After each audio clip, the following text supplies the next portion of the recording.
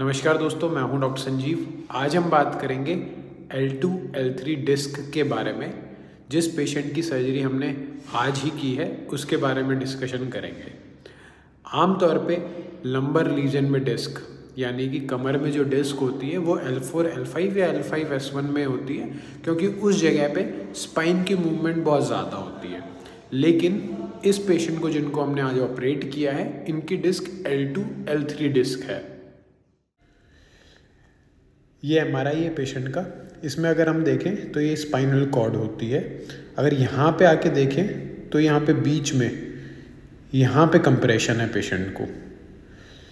वहीं अगर ये माइलोग्राम है पेशेंट का, हम इस तरीके के एक माइलोग्राम करा लेते हैं, ज़्यादा बेहतर पता लगाने की कि कंप्रेशन कहाँ पे हो रहा है।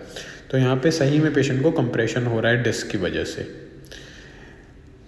आम तौर पे जो डिस्क होती है और वर्टिब्रा होती हैं एल फाइव वो हमारी यहाँ पे फाइव वर्टिब्रा होती है, लेकिन इस पेशेंट में वैसे ये वर्टिब्रा ज़्यादा है, किसी पेशेंट में ज़्यादा हो सकती है और किसी पेशेंट में डिस्क का नंबर भी ज़्यादा होता है।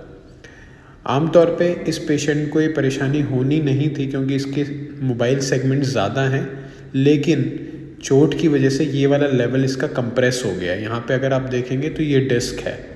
ये डिस्क पीछे नर्व्स के ऊपर, नसों के ऊपर कंप्रेशन कर रही है, जिसके कारण पेशेंट को दिक्कत हो रही है।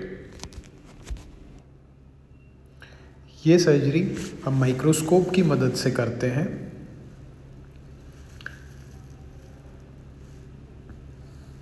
पीछे की तरफ़ से स्पाइनल कॉर्ड तक पहुँचते हैं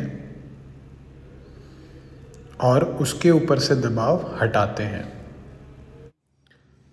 सर्जरी के दौरान कमर में जो टेढ़ापन आ गया था डिस्क की वजह से, वो भी ख़त्म किया गया है।